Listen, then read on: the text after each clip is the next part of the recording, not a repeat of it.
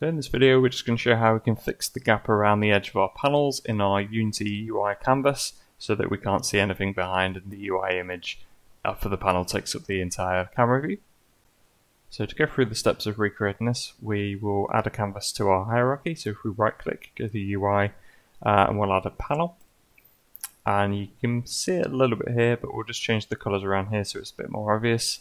Go on the main camera and we'll set the background to white.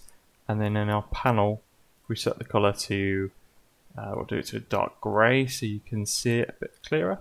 There we go. So you can see that there's a, a white outline. If I click play, you'll see it a little bit more.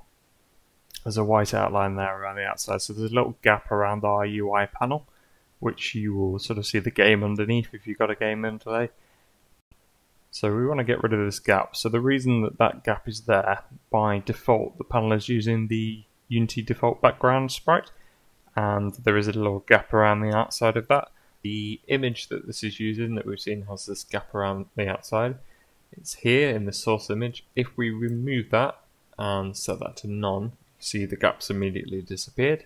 So if I hit play now, there won't be that gap around the UI, you can see. So that solves it, so that will fill the screen with the color block that you selected in your color selector.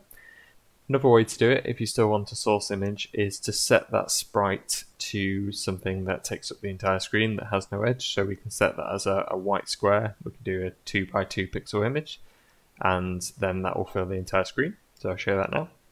And the reason we just want to do it as plain white is so we can still adjust the color in Unity.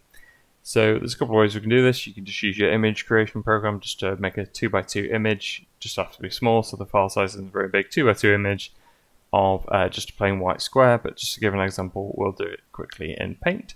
So if we open up Paint, which everyone should hopefully have, and we'll change the size of our canvas. So if we hit canvas up here, uh, we'll unlock the aspect ratio, set it to pixels here, and we'll just do a, um, 2 by 2 square. So we'll just zoom in on that. So you can see just plain white 2 by 2 square, 2 pixels by 2 pixels, and then we'll save that to our uh, project folder.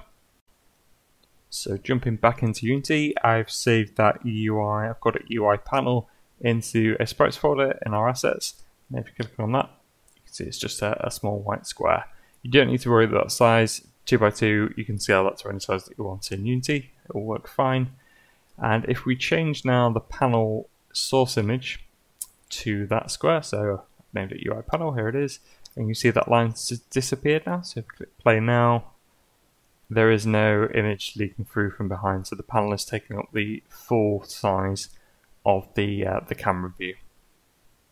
And just to show that square being white still lets you change the color of that in Unity, so we set that to a, a, a dark grey. You can see it hadn't changed when we changed the, the source image.